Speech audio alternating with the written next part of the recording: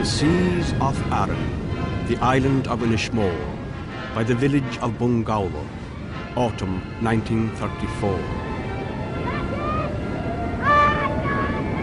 A frail curragh battles the Atlantic. Stephen Dirrane, Pat McDonough, and a man the filmmaker tells us was called Big Patcheen Conneely of the West. Aran Islanders all, skilled boatmen, experienced fishermen, in no little danger. The filmmaker, the famous American director Robert Flaherty, did not chance upon the scene. He set it up. He needed a climax for his picture of contemporary Aran life. The now classic film we know as Man of Aran. He wanted a curragh in a monstrous sea. He knew, as he was to write, how dangerous this was.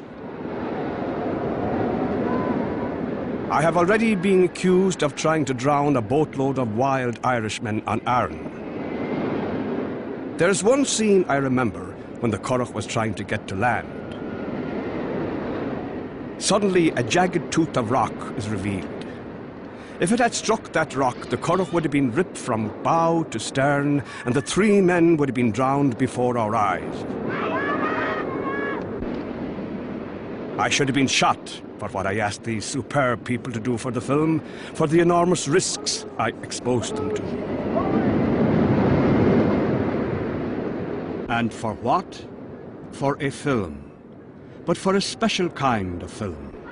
A documentary film a film that is supposed to capture the drama of real life.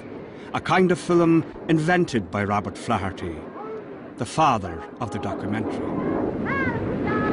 Parker!